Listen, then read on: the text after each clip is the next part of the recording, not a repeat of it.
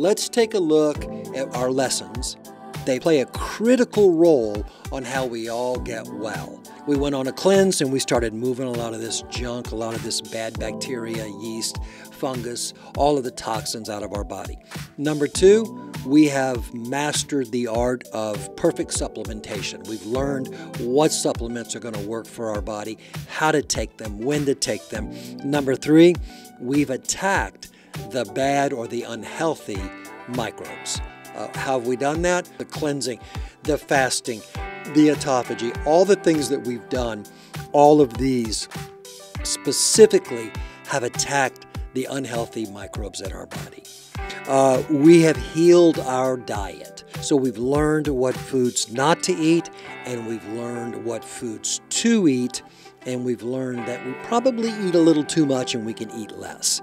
We've detoxified and we've cut the uh, foods out of our body, out of our diet that feed unhealthy gut microbiome, like gluten, dairy, sugar, uh, wheat, more wheat, and even more wheat. All of these foods are horrible for our internal gut microbiome.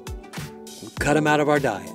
We've fasted and we've starved the bad gut microbiome, the bad bacteria and the fungus and yeast. We have uh, ignited autophagy or autophagy.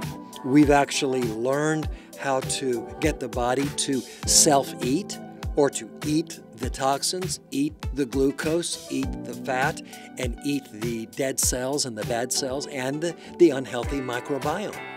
We've also uh, learned safety nets, what to do when we slip up, how to counter that, and how to get back on track. We've learned how to go back in by using food and some supplementation and repopulate, re engage, reignite all of the good bacteria that is supposed to not just live, but flourish inside of our 30 feet that goes from our mouth to the end of our body to our rectum.